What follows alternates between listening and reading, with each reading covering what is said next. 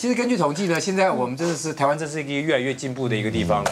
我们男女平等比世界上任何各国都进步的快，是。尤其是繁育在外遇的人口当中。哦，以前外遇当中人口是八比二，八个当时是男生啦，八成是男生，那个那个是女生。生。是。因为这几年的教育，这几年的名字已开，现在我们外遇人口达到了六比四，哇，十个里面。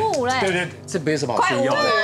快有。六六成是男生，好不好？是也当以左边为代表队，然后有四成是女生，也有外遇的可能，当然是以我们右边为代表队。代表队什么鬼啊？不要现在女生外遇，我觉得我觉得女生外遇是一个担心的心情而来的吗？你担心过去中和的哦？当然啦，你不要呃就跟浩如讲的那种外遇，那扯浩如下子，不分长相的。其实现在很多女生这是什么意思啊？我唯一承认外遇的，你们就一直强调不关长相？得此印证 了，对对对对。对啊，得此印证呢。没有，因为我觉得现在的女生哈，她是讲究有才气，才华的，对不对？喜欢有才气、有幽默有经济能力。